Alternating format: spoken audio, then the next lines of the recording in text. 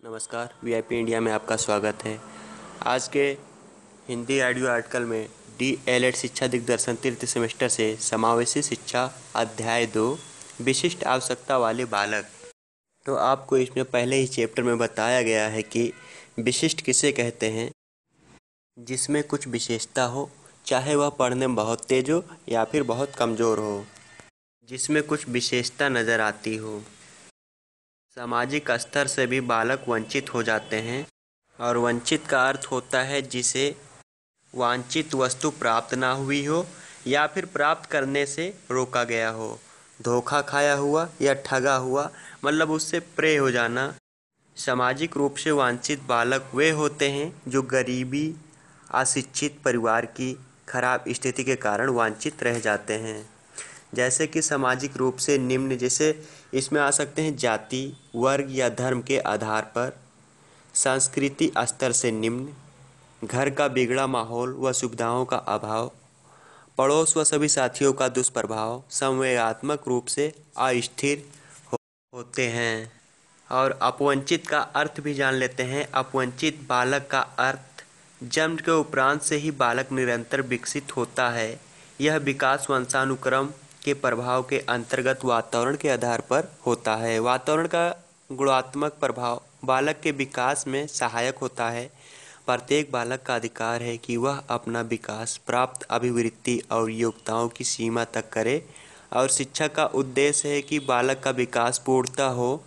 कुछ बालक ऐसे होते हैं जो सुविधाओं के क्षेत्र में सामान्य बालक से कम होते हैं, ये विभिन्न प्रकार की सुविधाओं, जैसे कि आर्थिक, सामाजिक, सांस्कृतिक से वंचित रह जाते हैं।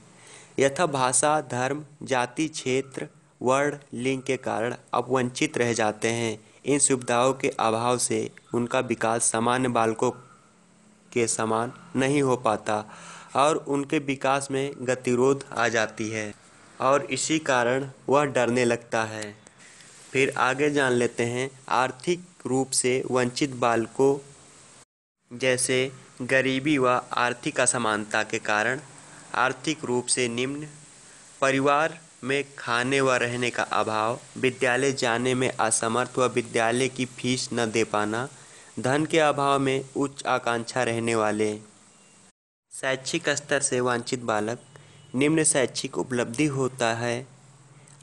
अंतर्मुखी व संवेगात्मक रूप से अस्थिर होते हैं। आत्म प्रेम व प्रदर्शन की भावना प्रबल होती है। समस्या का समाधान नहीं कर पाते। असुरक्षा की भावना से पीड़ित तथा विद्यालय में समायोजित नहीं होते। विद्यालय सामग्री व पुस्तकों के अभाव में नहीं पढ़ पाते।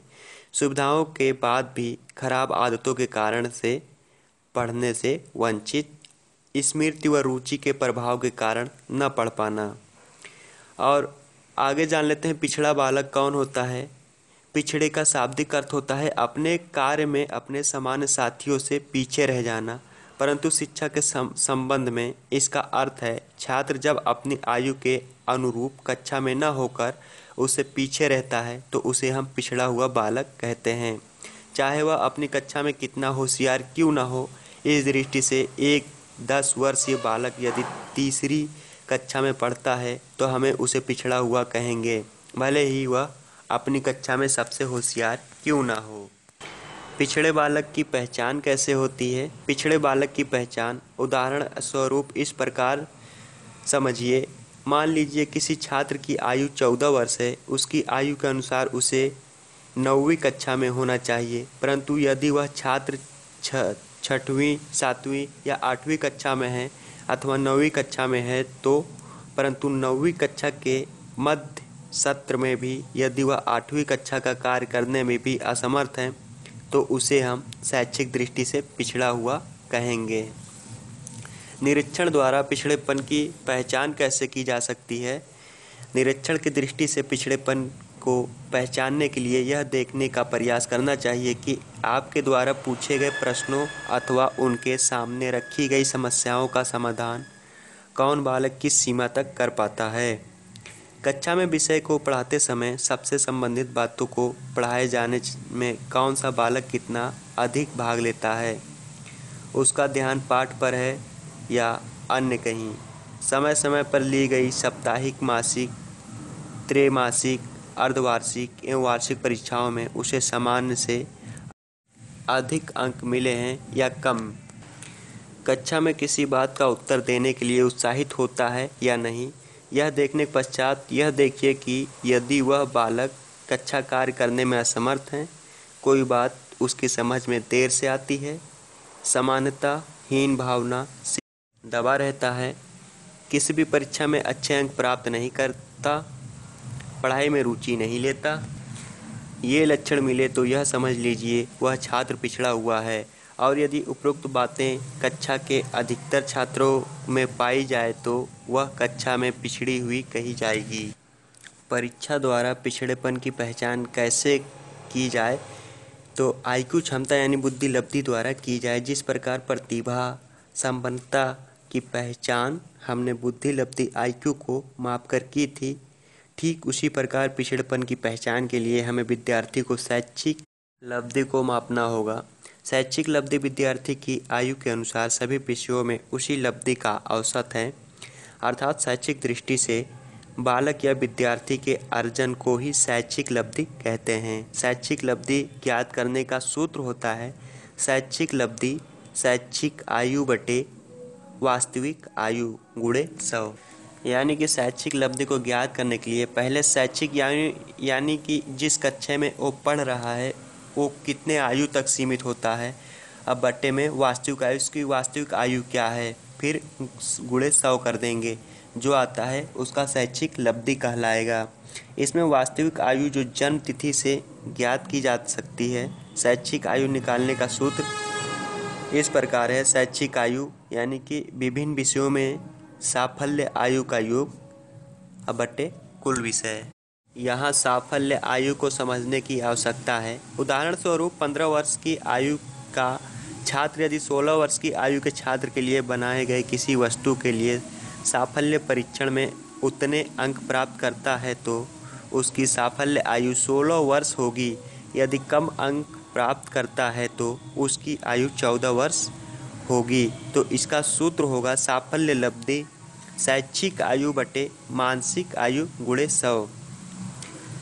पिछड़े बालक की विशेषताएँ क्या होती हैं? कुप्पू स्वामी के अनुसार, कुप्पू स्वामी के अनुसार पिछड़े बालक में निम्न प्रकार की विशेषताएँ होती हैं। जीवन में निराशा का अनुभव, सीखने की धीमी गति, समाज विरोधी कार्यों की प्रवृत्ति जन्मजात योग्यताओं की तुलना में कम शैक्षिक उपलब्धि व्यवहार संबंधी समस्याओं की अभिव्यक्ति, सामान्य विद्यालय में पाठ्यक्रम से लाभ उठाने में असमर्थ। सामान्य शिक्षण विधियों द्वारा शिक्षा ग्रहण करने में विफल, मंद बुद्धि, सामान्य बुद्धि या अतिश्रेष्ठ बुद्धि का प्रमाण। मानसिक रूप से अव्यवस्थित और असमयोजित व्यवहार। बुद्धि परीक्षाओं में निम्न बुद्धि लब्धि 90 से 110 तक होती है। विद्यालय कार्य में सामान्य बालकों के समान प्रगति करने की योग्यता, अपनी और उससे नीचे की कक्षा का कार्य करने में असमर्थ। पिछड़े बालकों की पहचान किस प्रकार कर सकते हैं? पहला है निरीक्षण द्वारा, दूसरा है परीक्षण द्वारा। निरीक्षण करके भी आप पिछड़े बालकों की पहचान कर सकते हैं, परीक्षण द्वारा भी कर सकते हैं। पिछड़ेपन दो प्रकार की होती हैं। एक व्यक्तिगत होता है इन जिसे इंडिविजुअल कहते हैं दूसरा सामूहिक यानी ग्रुप होते हैं। पिछड़ेपन दो प्रकार के होते हैं, व्यक्तिगत, सामूहिक। अपवंचित बालकों के तीन प्रकार होते हैं, सामाजिक रूप से वंचित बालक, दूसरा है आर्थिक रूप से वंचित बालक, तीसरा है शैक्षिक रूप से वंचित बालक। पिछड़े बालकों की पहचान निरीक्षण द्वारा तथा परीक्षण द्वारा होता है। शारीरिक विकलांगता कितने प्रकार की होती है? तो शारीरिक विकलांगता चार प्रकार की होती है। नंबर एक विकलांगता है श्रवण बाधित बालक, दूसरा है दृष्टि बाधित बालक, तीसरा है वाणी बाधित बालक, चौथा है अस्थि बाधित बालक। यानी कि श्रवण का मतलब होता है सुनना, यानी कान से, दृष्टि यानी आँख से, तीसरा यानी वाड़ी यानी मुख से, चौथा यानी अस्थि यानी कि पैर का ना होना, हाथ का ना होना। अपवंचन की परिभाषा, अपवंचन की परिभाषाएँ इस प्रकार हैं। ओलमैन के अनुसार, अपवंचन निम्न स्तरीय जीवन दशा या अलगाव को घोषित करता है, जो कि कुछ व्यक्तियों को उनके समाज की सांस्कृतिक उपलब्धियों में भाग लेने से रोकता है। और गार्डन के अनुसार, गार्डन क्या कहते हैं इनके बारे में? अपवंचन बाल्य जीवन की उद्दीपक दशाओं की न्यूनता है। यह चैप्टर समाप्त होता है। धन्यवाद इस ऑडियो आर्टिकल को सुनने के लिए। ऐसे ही ऑडियो आर्टिकल सुनने हैं तो चैनल को सब्सक्राइब ज़रूर कर लें। हाँ और एक बात है कि आप अगर थोड़ा बहुत सुनते रहेंगे तो आपको इसके बारे में कुछ ना कुछ जानकारी होती रहेगी। और ये कोई टप नहीं है, आप एक बार सुन लीजिए, फिर समझ जाएँगे कौन सा प्रश्न किस प्रकार होगा। तो आप इसके अनुसार कुछ भी लिख सकते हैं, पर लिखना ज़रूर है। धन्यवाद इस ऑडियो आर्टिकल को सुनने के लिए। इस चैनल को अगर सुनना है तो सब्सक्राइब ज़रूर कर लीजिएगा। धन्यवाद।